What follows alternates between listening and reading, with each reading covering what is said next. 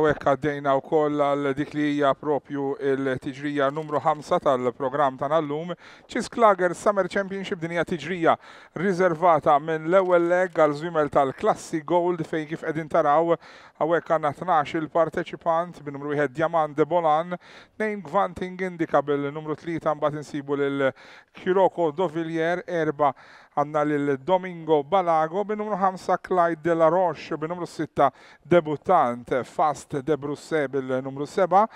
Prince in One, tmienja Kolchak u mbagħad bit-tieni fil-lira għandna wkoll debuttanta oħra din id-darba Emily E, għaxra Eagle Bibuċer, ħdax Once for All Face u numru tnax Vasterbo Kober hawnhekk bidu uffiċjali ingħata ftit tal-mumenti ilu nfakkrukom id-distanza dejjem dik ta' 2640 metru distanza qasira ta' mil hawnhekk qegħdin naraw il-bidu uffiċjali li ra bidu tajjeb għal dawk li huma il-żwiemel proprju hemmhekk fil-kmand Vas de Brusse, aktar 'il barra minnu Prinsenhoan, li finalment ikun hu li jmuru jieħu l-kmand ta' din il-tiġrija. Gvanting Indiga jżomm it-tielet pożizzjoni minn dak li huwa mbagħad Cole Jack li jinsab tnejn fuq in-naħa ta' barra fil-mikxuf. F'din il-fażi wkoll qiegħed jipprova javvanza tlieta fuq in-naħa ta' barra dak li huwa Clyde de la Roche illum misjuq minn David Attard. Hawnhekk f'dina l-okkażjoni qed ilaħħaq hawnhekk mal-naħa ta' barra tal-leaders Prince in One diġa taħt pressjoni hawnhekk meta fadal elf metru għat-tmiem ta' din il-tiġrija hemmhekk minn dak li huwa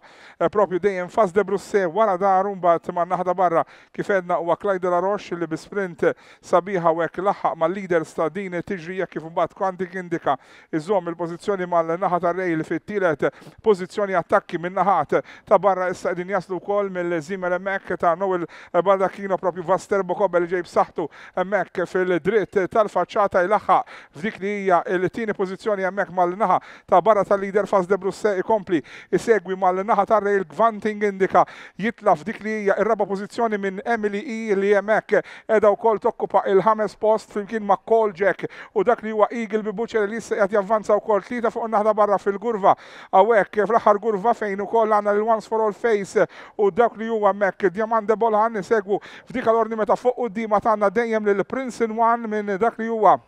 Vaster Bokober jitla' tlieta fuq in-naħa ta' barra issa Gvanting Ndayra jibda l-attakk tiegħu man-naħa ta' ġewwa m'għandu l-ebda spazju hemmhekk il-żiemel Fas de Brussel qed jipprova joħroġ minn wara dar il-leader hemmhekk għandna lil Prince Inwan li qed jipprova jżomm il-vantaġġ tiegħu minn dak li huwa Fas de Brussel joħroġ fl-aħħar metri Fas de Brussel jmur fuq quddiem huwa Fas de Brussel joħroġ rebbieħ Fas de Brussel hemmhekk finalment joħroġ rebbieħ minn Gvanting indika li jżomm it-tieni pożizzjoni It-tielet post għal Eagle bi Butcher One naħa ta' Rail ikun forsi Prince in One illi iżomm ir-raba' pożizzjoni minn dak li huma Once For All Face u Call Jack illi ġew b'saħħithom ukoll fl-aħħar metri. Tmiem mill-isbaħ hawnhekk ta' din il-tiġrija, tmiem mill-aktar kumpatt kien Fast De Brussel li segwa wara dar il-leader tul it-triq kollha li finalment irnexxielu joħroġ fl-aħħar 150 metru. Clint Vassallo jitlob liż-żiemel tiegħu l-isprint kollu illi kellu u b'hekk joħroġ rebbieħ b'nofs stul mill-istess Gvanting Indica. Żiemel ieħor illi rebaħ fid-debutt tiegħu hawnhekk f'As de Brusse